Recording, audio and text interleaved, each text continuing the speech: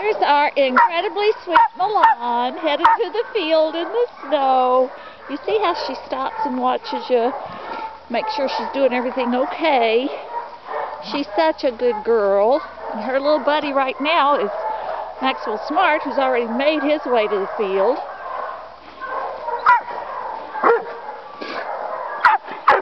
She's our very precious girl that needs a home.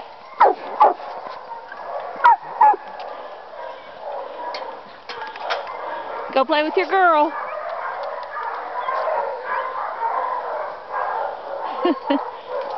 I'm not sure Maxwell likes the snow.